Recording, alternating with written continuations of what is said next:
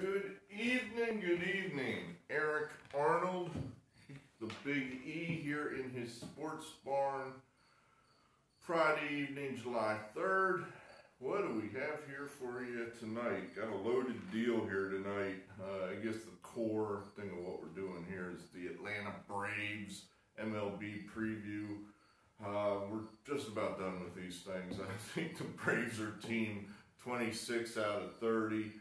Uh, so we're we're getting there. We're almost done, and then we'll have a sum up video, at least one summary video where we pick, our winning uh, uh, playoff teams and uh, who uh, who's going to beat the number, who's going to not beat the over under number, and uh, we'll go from there. Uh, so we're getting there. We're slowly getting there. a correction from previous video want to give you accurate information that the best that we can here in Sports Barn. Here in Pennsylvania, you must wear the mask, at least if you think that the government or uh, the governor has the authority to tell you to wear the mask. You must wear the mask on an empty bus. Uh, I reread the order.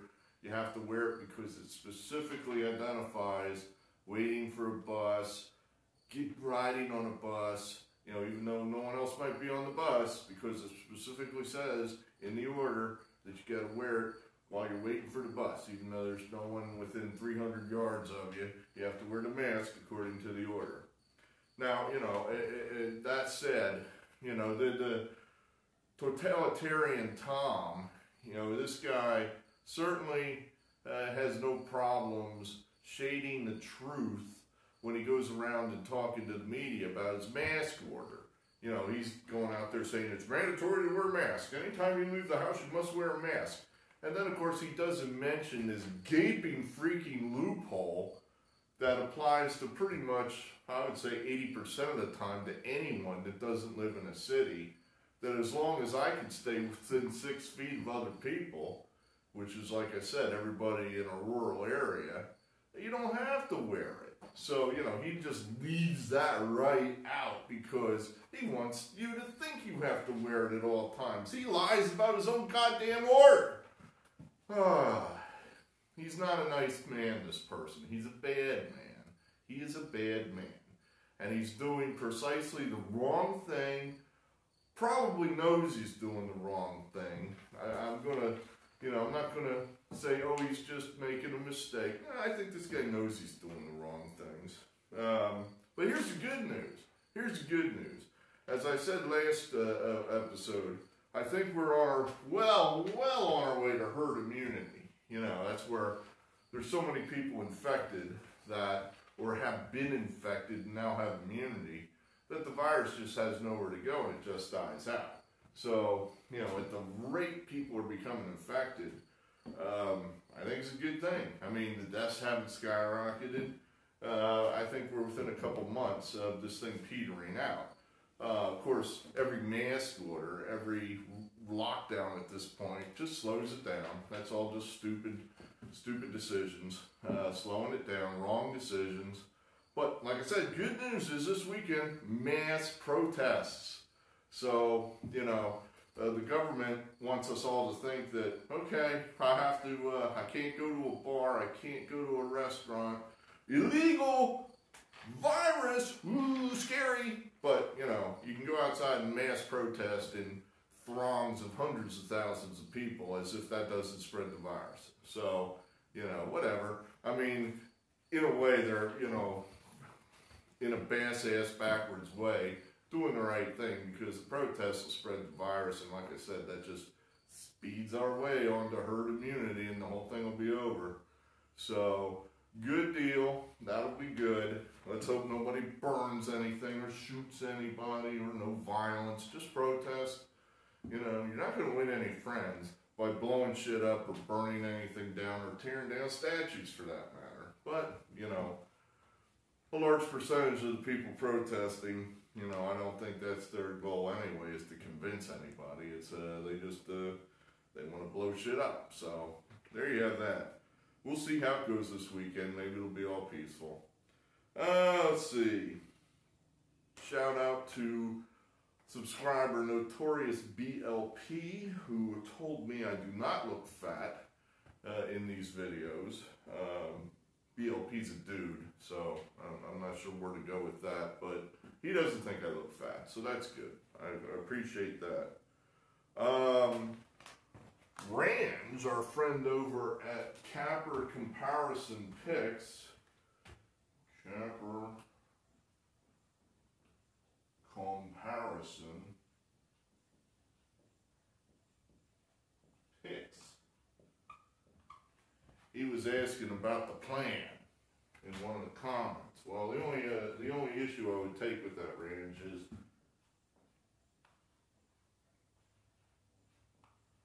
there it's capitalized. The plan. that's where I always. It, that's the way I always did it. I just capitalized it because I thought it was so special. Um, this turned out not to be so special, but yeah, it's fun to talk about. We'll get to it. We'll get to it. It's it's it's a there's so there's stories. There are stories and they're all true. Okay, now one other thing here.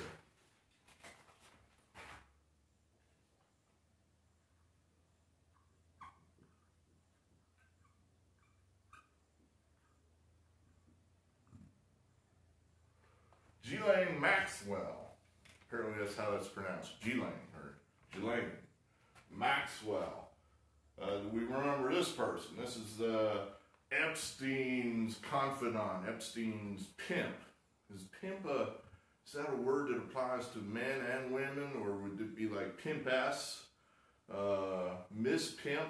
Uh, is that, let's just call her pimp. She's a pimp, a, a, a procurer of underage women for herself and Epstein, um, pedophile, uh, looking at hard, hard time. Uh, they finally caught her. You know, she's been floating. I don't know that she was hiding. All, I mean, she, they arrested her at a mansion in New Hampshire. Again, it's almost like Bin Laden. It's like, oh, you weren't in a cave somewhere. You were in a mansion. How about that? How about that? You were just right there out in the open. How about that? One thing I found interesting about this is uh, uh, I'm pretty sure the um, governmental office responsible for the Epstein case is the uh, district attorney of the uh, what Southern District in New York, and uh, this is the guy that just was fired, you know, thrown out the door, hanging onto the frame as he went. You know, you're fired, or, or, or we accept your resignation. I'm not resigning. I'm not going anywhere. I'm staying. I'm going to fight. I'm going to fight. All right, you're done then. You're fired. Get out. You know, as soon as this guy Berman was tossed, Shazam! You know, she was arrested pretty soon after that. You know, it just seems, what a coincidence. What a coincidence. So, of course, if we've forgotten about the history of her and Epstein, Epstein's the guy who has uh, the keeper of the dirty secrets of all the powerful people who may or may not have been involved in uh, having sex with underage uh, women. Um, certainly, we have, you know, we have Prince Andrew. Almost definitely, almost. He's almost definitely involved. You got Bill Clinton, former U.S. president. He's probably involved. Then you got Donald Trump, current president. Possible. You know, you know, Donald Trump was certainly uh, uh, active in the New York uh, party social scene uh, just with uh, uh, as well as Epstein and Maxwell. There are pictures all over the place of Trump posing with these people. Um, you know, was he? Uh, does his taste run towards female, underage females? Who knows?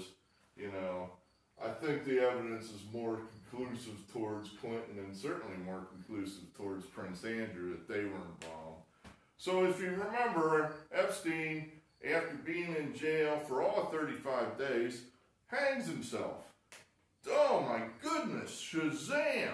Uh, you know, it, those current subscribers of mine who have listened to more than three of my videos uh, know I'm a libertarian. I take a very dim view of government. But then you have an episode like Epstein, and you say to yourself, this is why the biggie has a dim view of government. Basically, you got two choices here. You're either corrupt or you're incompetent. There's no middle ground there. You got a guy who's going to finger important people, and your job is to keep this guy alive, and the guy hangs himself. So you're either incompetent or you let it happen and you're corrupt. You know, it's one or the other, one or the other. So now Maxwell, who knows all of Epstein's secrets and was there hip deep in all the criminality with him, she's been arrested.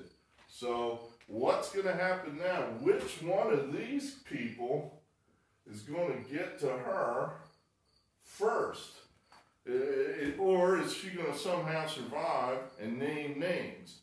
Um, according to my notes, let's see.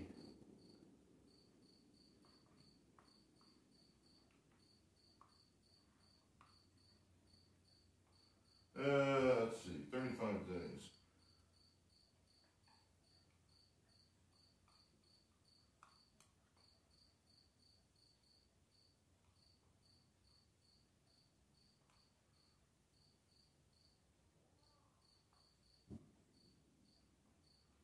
Epstein lasted 35 days. So I would say let's let's put an over under on this.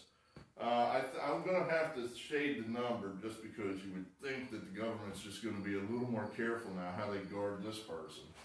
So we're going to make 35 days the over under number. Um, if you want the under, that's plus 180. If you want the over, we're going to put that at minus 200 because I think it's definitely a, the favorite would have to be that she's going to live more than 35 days before somebody gets to her. You know, perfectly healthy, 57 uh, year old. Uh, would, she's not going to drop dead of natural causes. So, however, the last person in this uh, situation lasted 35 days.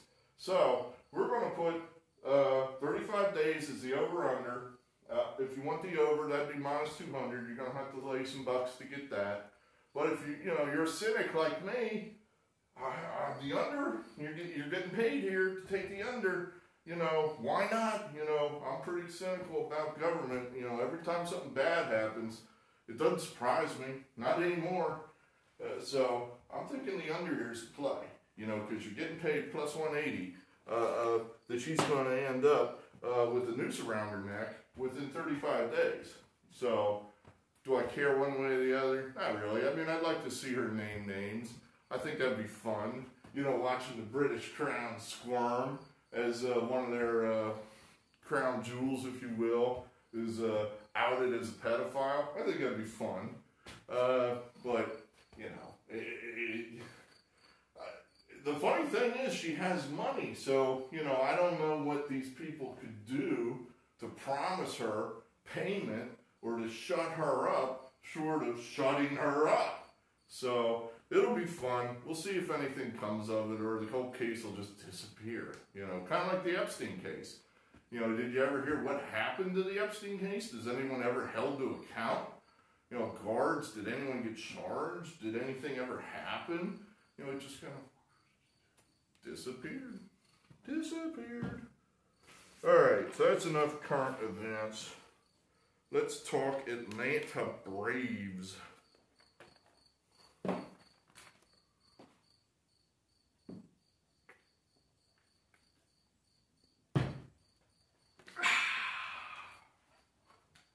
These guys had a big year last year before flaming out in the playoffs like they always do. Um, so are they going to come back? Are they going to be a player again this year? One thing I saw that was interesting about this team is their four best players. Um, let's see if I get this right. Soroka, Albies, um, the other young guy, Acuña. Those three youngsters, I think they're all under 23. And then Donaldson, who's, you know, the veteran. He's upwards of what, 34, 35? Those were their best guys. Ah, I don't like that. You know, I, I don't like that. I mean, I think you got very young players or very old players, and you're relying on these guys. You know, I, I, I don't. That makes me nervous a little bit. That those kind of players, it's very easy for them to have one big year and then unable to replicate it, either because they're just not healthy, the older guy, or they're young and they just don't know how to deal with the success, or the league adjusts to them and suddenly they're not getting those fat fastballs anymore and they haven't learned to adjust and perhaps flash in the pan, which happens all the time. So the, the, the league though has, or the bookies have put them at 34, which translates to 92. So they've already shaved five games off of what they did last year. Uh, the league isn't, or the bookies, not the league, the bookies, the bookies, the bookies are not expecting some huge jump here from the Braves. Uh, they're expecting them to come back a little, and so am I. Um, the Braves, though, you know, in the last five years, they've made you money. This is a this is a solid team. This is a team that generally exceeds expectations. So we're gonna say 34 is about right. You know, if you you put a gun to my head, I won't have any trouble betting on the Braves this year. You know, I won't have any trouble. Like I said, this is a team that's a well-run franchise. Somebody gets hurt, they generally find dudes that you've never heard of to plug in and play well. So uh, they're kind of like the Cardinals in that respect. Uh, so, yeah, the Braves, not terrible. You know, this is a team could be definitely in the mix. All right, so that's what we had here for you tonight. One piece of content that may or may not hit the internet. Um, we're declaring war on our local raccoon tonight. Um, or maybe he's declared war on me and I'm just returning fire. Uh, we've had a raccoon sniffing around the house here these past several nights, and uh, last night he discovered a cat door. So the cats, we live out in the sticks, so the cats, you know, they're free people. They come and go as they please through the cat door. Well, the raccoon discovered the cat door and came in and took a giant piss on my kitchen floor. So, you know, all right, this means war. Uh, so tonight, you know, we're going to break out the trap, and that's going to be the end of the raccoon. Um, I don't know if I'm going to be able to film it just because, you know, I'm trying to catch the raccoon and film it at the same time. Probably what's going to happen is we're not going to catch the raccoon, and, uh, you know, what's the point of me uh, failing to catch a raccoon? I want to catch him. I want to get rid of him. So, you know, we're we're probably going to do that tonight. See if we can get him. Um, it, it's not my first rodeo, so you know he, he's. Uh, I would say he's the long shot in this battle. I'm the odds-on favorite. So your days are numbered, raccoon. You hear me? He's so greedy, he'll show up and you know I could I could hire a skywriter for him. Hey, dude, come come to the house. Trap set. He'll come anyway. You know, they're raccoons. That's what they do. All right, very good. Saturday, it's Friday night. Friday night heading into a long weekend of, you know, well, you know, you'll get to see your family, I guess. No sports, but uh, family uh, picnics and what have you. So, very good. Hope everything's going well for everybody else. Um, sports are coming, they're coming, they're coming. The virus is probably more than halfway over. Um, every day, just a little bit better and better. We'll see you again. Eric Arnold out.